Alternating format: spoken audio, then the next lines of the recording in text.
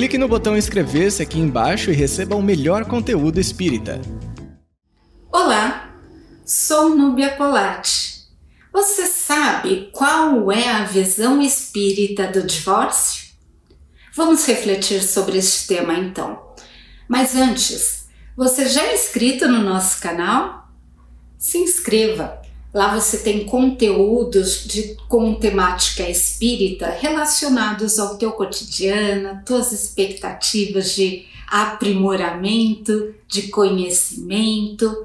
E ó, se você gostar deste conteúdo, deixa teu joinha, teu like e pode comentar à vontade que a gente gosta de saber o que você está pensando sobre o nosso tema.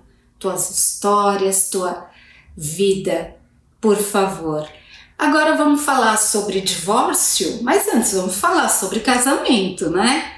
O que, que a doutrina espírita pensa sobre o casamento? O Espiritismo diz que o casamento é um progresso na ordem da sociedade. Vou explicar melhor este tema. Quer dizer que o fato de eu constituir uma família, a família é uma microsociedade. Ali dentro da família eu aprendo paciência, resignação, respeito, compreensão, compartilhamento, eu aprendo com o outro e permito é, que o outro tenha acesso a tudo que eu conheço. Olha só que maravilha, né? Essa nossa micro sociedade que é o casamento é um ensaio para um dia atingirmos o que Jesus nos propõe de sermos todos irmãos, né? Porque por enquanto tá só na palavra, né? Dentro da família a gente aprende realmente a amar o outro mesmo com todas as diferenças que o outro possui. E daí eu vou lembrar que antes de casar, a gente tem que ter aqui muito bem formado na nossa mente que o príncipe encantado não existe. Tão pouco eu sou a princesa frágil a ser resgatada e levada para um castelo e viver feliz para sempre é, ainda não estamos neste patamar, né? Não adianta eu procurar a metade da laranja porque eu sou laranja inteira. Olha só, eu sou um indivíduo único e o outro também, né? Portanto, é, tenho defeitos, eu tenho muita coisa para ensinar e eu tenho que ter a humildade para aprender com o outro. Né? Um quebra-cabeças não se faz com peças iguais, portanto, os diferentes podem se adaptar, podem conviver em harmonia. Este é o propósito de um casamento. De acordo com a visão espírita, é ótimo, né? Ah, então eu acho que eu já estou prevendo que você vai falar que não se pode divorciar.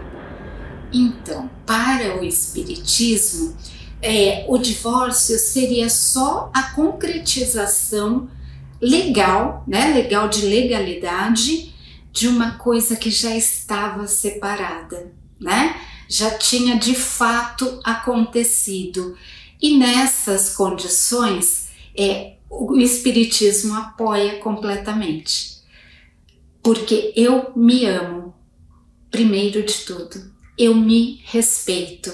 E quando chegar em um patamar do casamento que já não existe respeito, amor, a gente é melhor se libertar e dar a liberdade ao outro.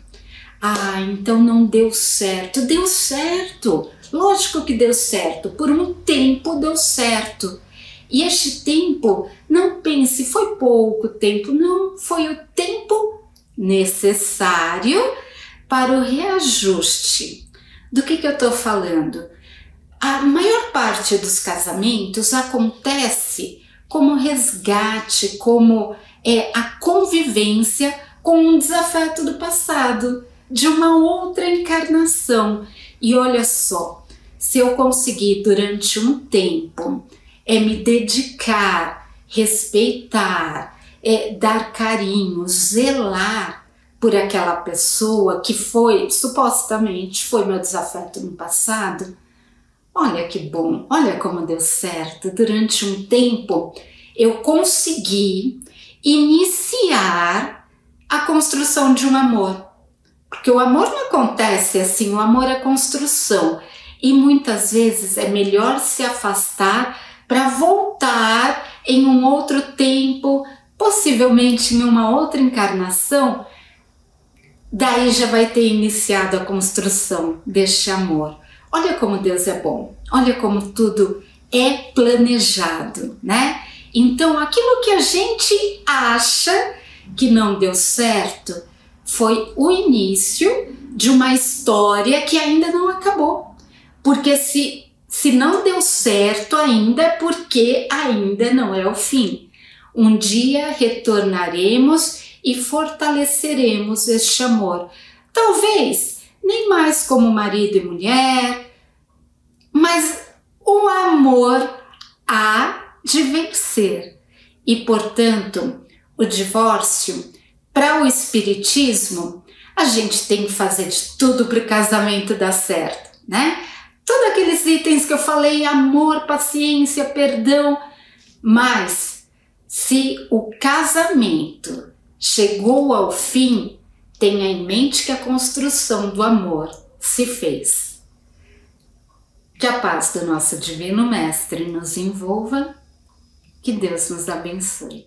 Se inscreva no canal, ative o sininho e acompanhe as novidades do Espiritismo no Brasil e no mundo.